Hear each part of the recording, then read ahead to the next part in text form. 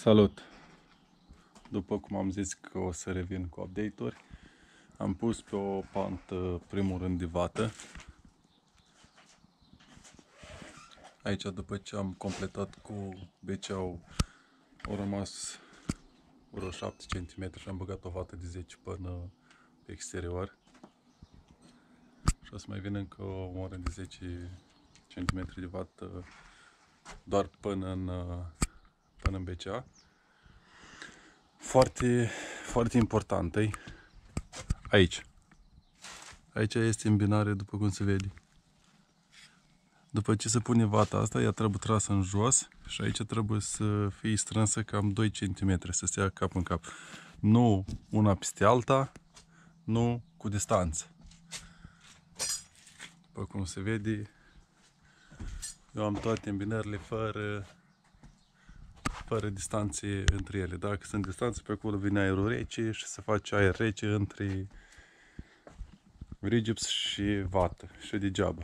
Aici nu o să vină, deci nu vreau să aud comentarii că trebuie barieră de vapor, nu știu ce, că nu se pune pentru că trebuie să ne încadrăm în buget. Aici au venit vata doar până în becea ambele rânduri, pentru că era la luft de un centimetru și nu aveam ce să pun. Am pus doar pe partea asta pentru că trebuie să izolez și pod și tot și să merge și construcția în același timp și s-ar putea să nu mai fi putut face mai târziu. Deja am pus aici primul rând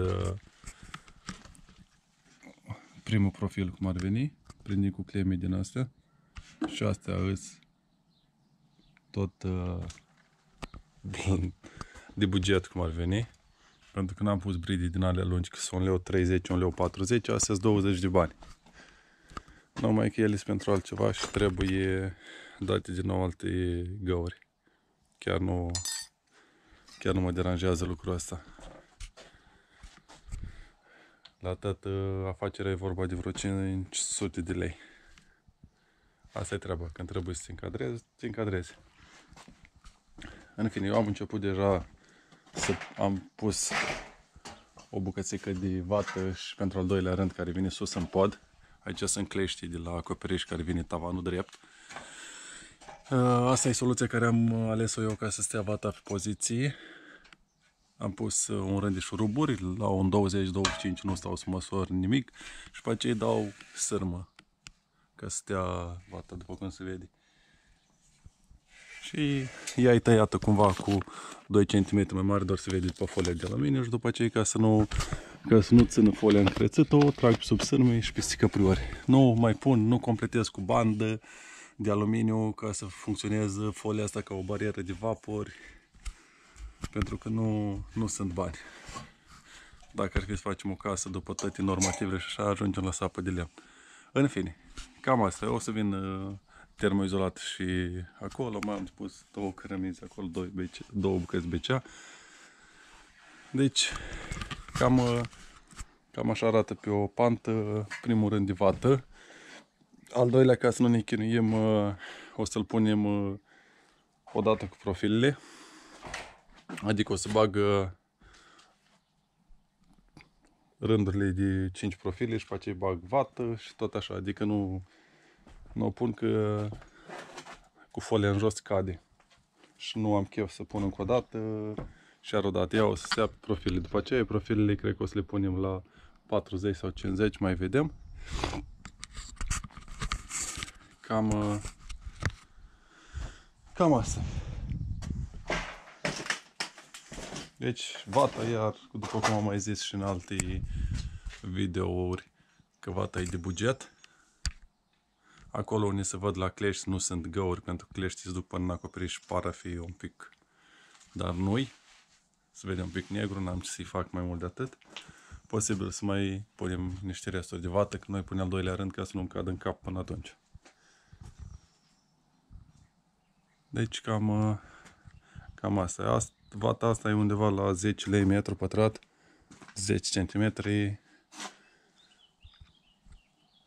În fine, aici, după cum se vede primul, primul rând de vată, l-am trecut de pe o parte, partea cealaltă, adică sus în coamă e dintr-o bucată. După cum uh, se vede și acum vin cu al doilea fix combinarea în coamă.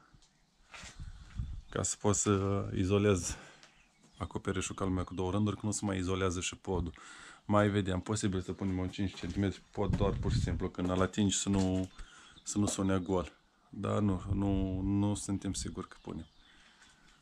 O să fie acoperișul termoizolat bine și nu mai trebuie și bucățica asta de, de pod.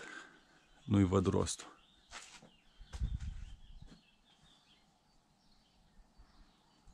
Da, na. De fapt, tot rostul care ar fi vorba că o să trebuiască cu timpul să se încălzească și spațiul ăla de acolo, pentru că prin rigid o să treacă temperatura și o să fie un spațiu încălzit între pod și acoperiș.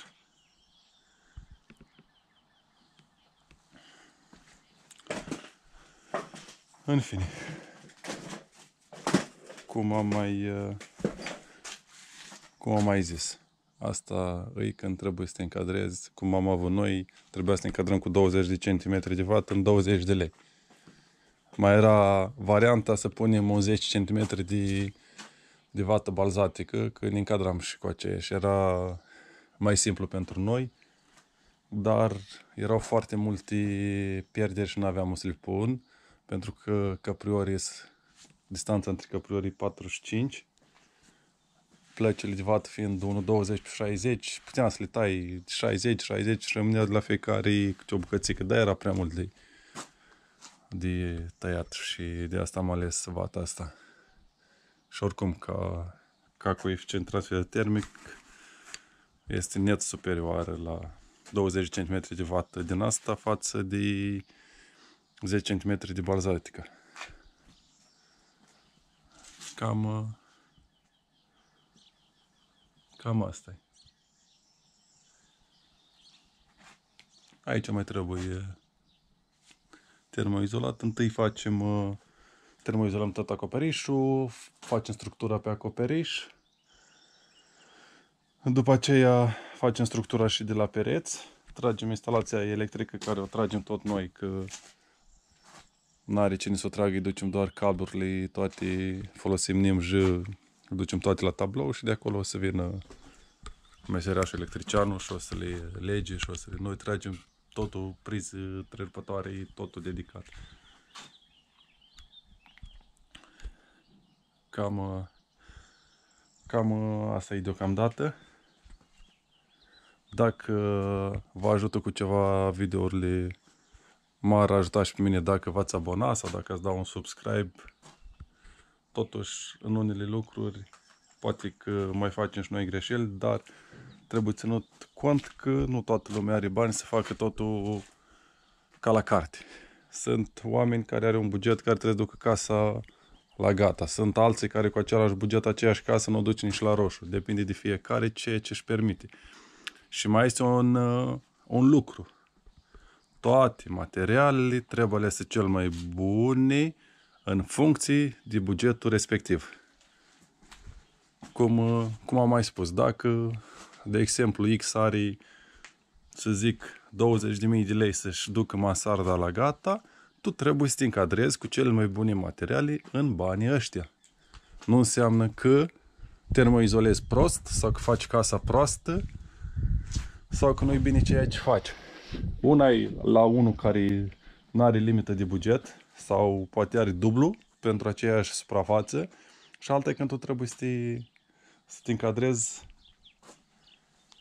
de la o, adică să faci economii la orice, la orice lucru de chiar și 10-20 de bani la o bucată, la metru, la ce cumperi.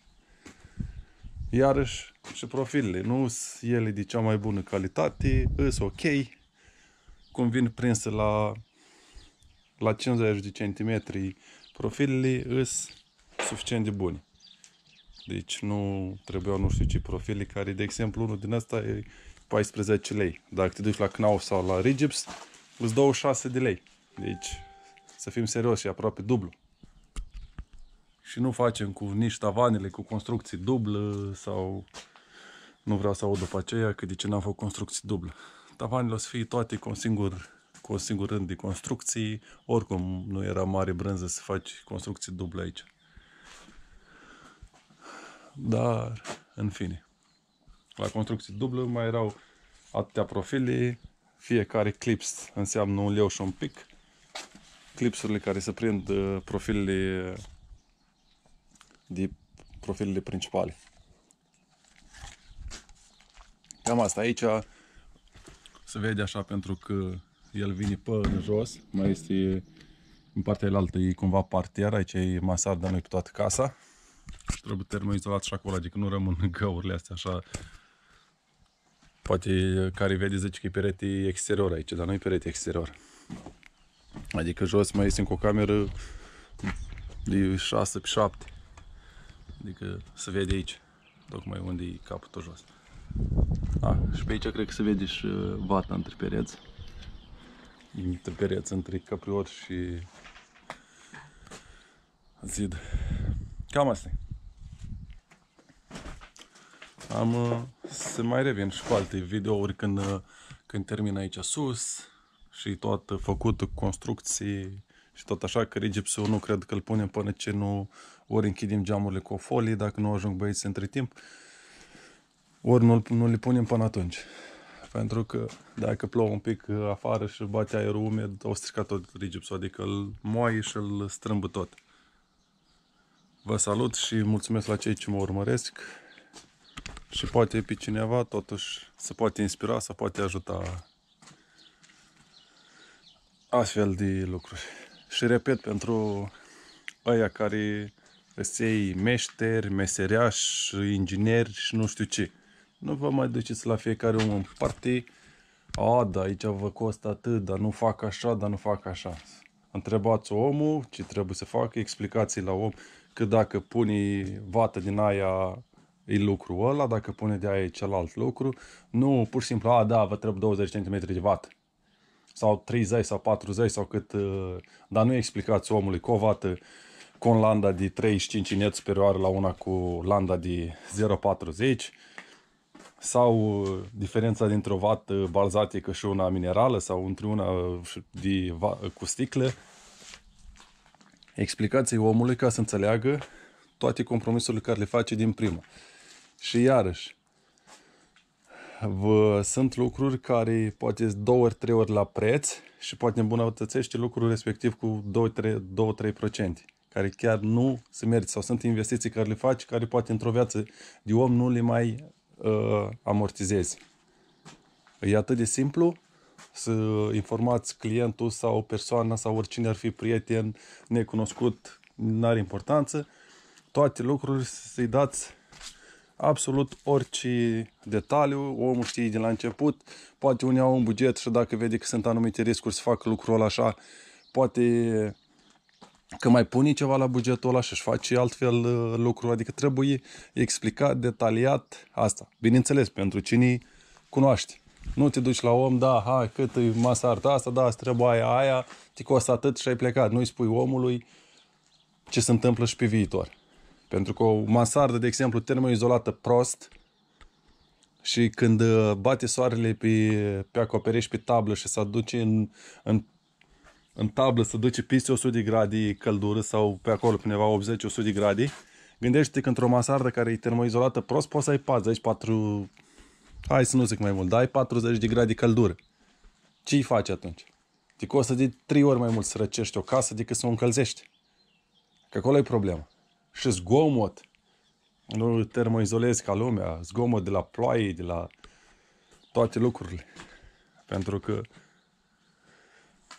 e foarte deranjant să auzi cum, uh, când ai să dormi să auzi cum plouă. Da, în fine, iarăși m-am lungit, iarăși fac clipurile astea lungi, iarăși le fac de multe ori puțini urmăresc uh, detaliile astea. O să mă structurez așa cât să fac videoclipuri de 3-4 minute în care să explic esențialul, să uite să fie eficient și sănătate.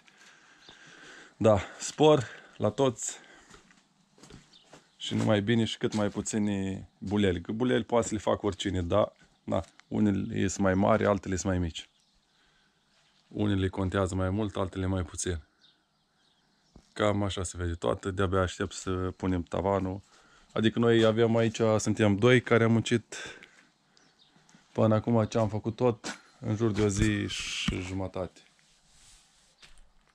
Vor, uh, complet. Adică în afară de alte lucruri, ce am mai făcut cu materiale, ce am mai fost după materiale și tot așa. V-am salutat!